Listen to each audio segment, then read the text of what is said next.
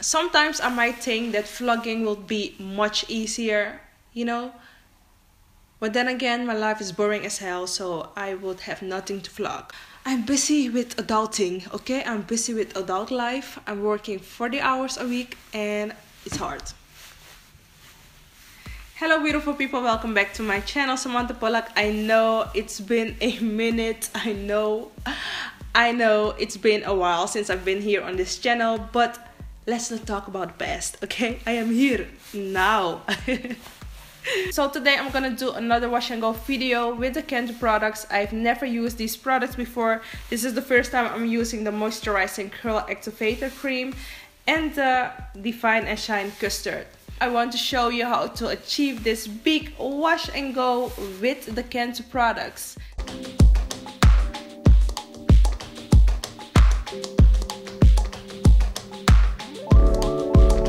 If you want to see how I achieve this wash and go, please keep on watching. As always, I start with freshly shampooed and conditioned hair. I will leave all the product details in the description box down below.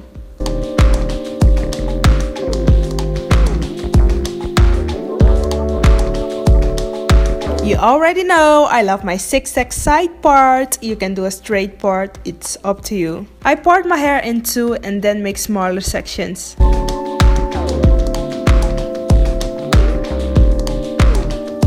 Because my hair dries super fast, I need to spritz my hair with water. I use a good amount of the moisturizing curl activator cream. I start at the ends and work my way up. I work the product in and I make sure that I finger detangle.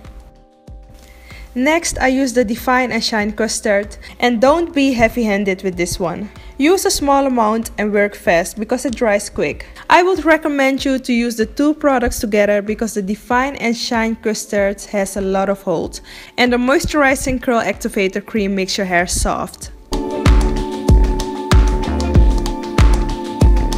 After the two products, I use the Super Shine Hair Silk.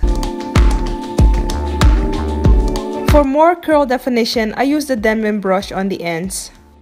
Now you want to scrunch and repeat the steps.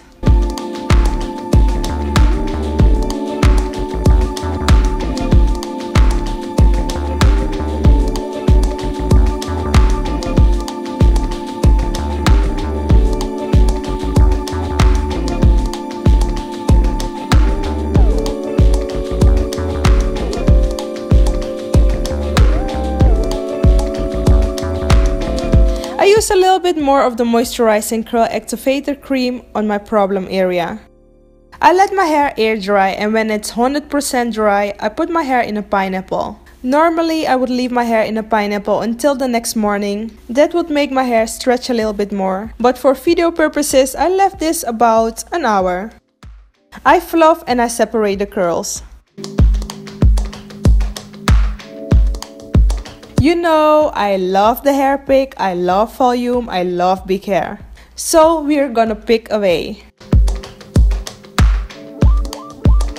The last step is using a little bit gel on my edges and I use two bobby pins to get the hair away of my face. And that's it, super easy 3 products wash and go. I hope you enjoyed this video and learned something new.